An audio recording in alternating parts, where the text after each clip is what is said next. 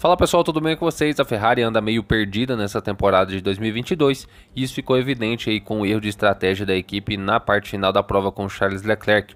Mas na primeira parte da prova, até os computadores da Ferrari pareciam estar meio perdidos, já que está, o engenheiro estava passando uma posição de pista errada para o Charles Leclerc, que o próprio Charles Leclerc acabou corrigindo, falando que o Stroll estava na frente, sendo que não estava. Safety car deployed, safety car deployed, and stay out, charge button on, charge button on, and shock 6. So uh, Hamilton stopped at turn 16 and uh, Bottas stopped at turn 7. Position. So at the moment you are P10, Verstappen P8.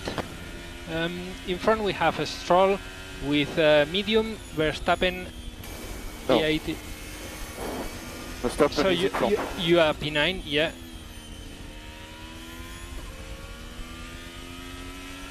So Verstappen, yeah, in front with the soft, and then you have Albon, Albon with the medium.